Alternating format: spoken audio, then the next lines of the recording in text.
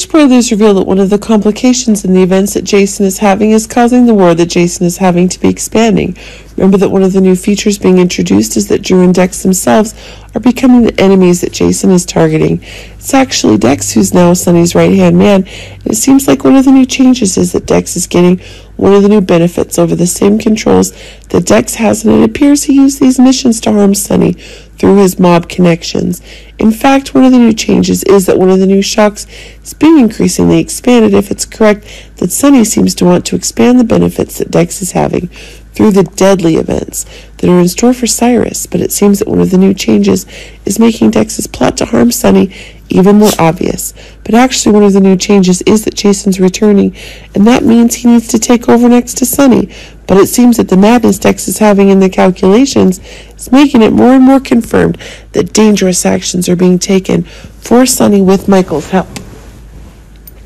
but it seems one of the new pieces of pieces of information being cooked is if the madness that Michael is getting into after his isolation from the SEC debacle that's causing the very dangerous actions that Dex and Michael are getting into these days further enhanced, but it seems one of the new dangerous ideas is being confirmed as Jason seems to be getting some truth, and that's what Jason is need of in a new purge is getting. But it seems that one of the new dangers that Jason needs is related to the problems that Drew is having. Seems that dark influences within the prisoner causing Drew to get into some new trouble. Remember that it's Drew who's using the Quartermaine family's benefits to make Monica seem to be in trouble, but evidence is emerging that Jason himself will not return to the identity of Jason Quartermaine, and that's making one of the new actions in ensuring the rights of the Quartermaine family is being confirmed the fastest. But it seems that one of the new ideas that's making one of the new shocks is being confirmed if Jason himself will return with unstable memories, and if Drew's actions are harming Monica, then that's making for one of the dangerous new ideas that are out there.